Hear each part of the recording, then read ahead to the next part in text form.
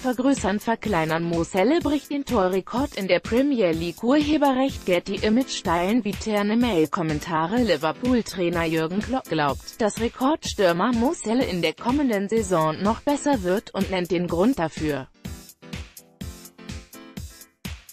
Liverpool-Stürmer Moselle hat mit seinen 32 Toren den Torrekord in der Premier League gebrochen.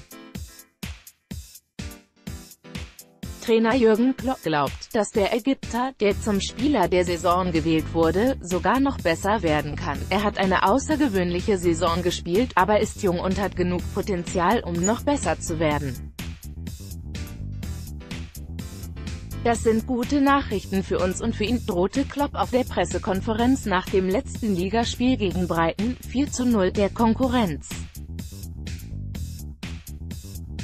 Doch eine genaue Zielvorgabe will Klopp seinem Stürmer nicht machen, ich habe keine Torvorgabe für ihn, weil es ist sehr schwierig so oft zu treffen, ansonsten hätten es schon andere geschafft, die Premier League Highlights im Teil wie auf Sport 1 am Mo 22,45 Uhr auch Selle selbst glaubt, dass er seine herausragende Saison wiederholen kann.